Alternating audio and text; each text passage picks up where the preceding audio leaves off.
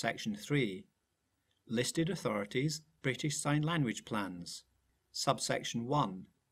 Each listed authority, see Section 8, is, in each session of the Parliament, to prepare a plan to be known as a British Sign Language Plan, in this Act referred to as an Authority Plan.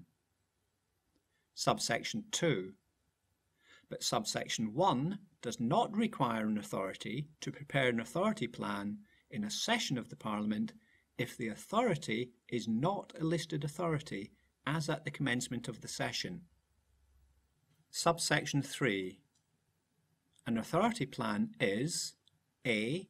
To set out measures to be taken by the listed authority in relation to the use of British Sign Language in connection with the exercise of the authority's functions. B. To set out timescales by reference to which any such measures are to be taken. C. Where the listed authority has previously published at least one authority plan to state how, when, and to what extent measures to be taken by the authority by virtue of the most recently published such plan were taken, and D. To contain such other information, if any, as the Scottish ministers may by order require. Subsection 4. A listed authority, in preparing an authority plan, A.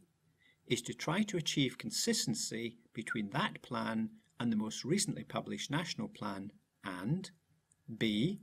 is to have regard 1. To the extent to which the authority's functions are exercisable using British Sign Language. 2 to the potential for developing the use of British Sign Language in connection with the exercise of those functions. 3. To any representations made to the authority in relation to using British Sign Language in that connection. 4. Where the authority has previously published at least one authority plan to such comments as are contained in any performance review which relates to the most recently published such plan. And 5 to such guidance relevant to the preparation or revision of authority plans as may be issued by the Scottish Ministers. Subsection 5.